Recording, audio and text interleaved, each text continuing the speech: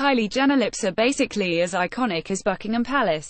Obsession with her pout has reached such peak that SHES inspired a YouTube craze, with people attempting to recreate her lippy look, and even launched a sell-out range of lip kits to help women emulate her famous features.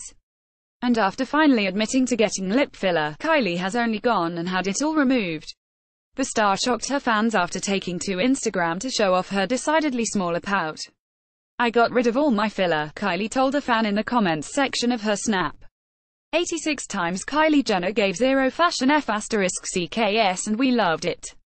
Kylie's followers rushed to compliment the star's new look, with one saying, This is the first time actually commenting on your page I'm just here just to say you look truly gorgeous without your fillers, and another adding, You are so much cuter, without your fillers. Rumors about Kylie having lip filler were flying for years, before the star finally admitted she had undergone the procedure on a 2015 episode of Keeping Up with the Kardashians. She said at the time, I have temporary lip fillers.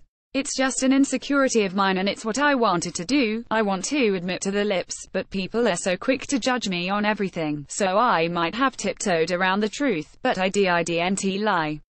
We think she looks gorgeous with and without her lips, and at least she can cheat a plumper pout courtesy of her lip kits.